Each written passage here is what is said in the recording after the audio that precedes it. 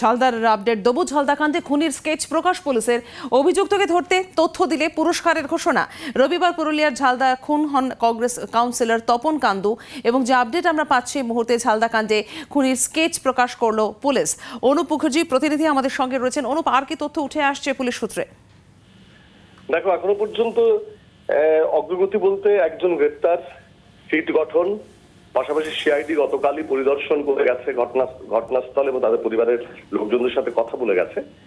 এরপরে আমরা যে অগ্রগতি দেখলাম যে একটা খুনিকে শনাক্ত করার জন্য যে একটা পদক্ষেপ, সেই পদক্ষেপ হচ্ছে প্রত্যক্ষদর্শীর বয়ান সংগ্রহ করে, কেননা সেদিন তপন কান্দু একা ছিলেন না, তপন কান্দুর সাথে আরও কয়েকজন তার বন্ধু ছিলেন, যারা বৈকালিক ভ্রমণ অংশ নিয়েছিলেন। সেখান থেকে একজনকে একজনের সাথে কথা বলে এবং তার যিনি খুব কাছ থেকে দেখেছেন সেই আততায়ীকে তার বিবরণ মতো একটি স্কেচ প্রকাশিত হয়েছে।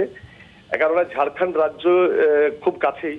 শুধু আমাদের জেলা বলেই নয়, ঝাড়খণ্ড রাজ্যের পার্শ্ববর্তী এলাকা, সেখানেও যদি স্কেচের বার্তা পৌঁছয়, তাহলে শনাক্ত করতে সুবিধা হবে।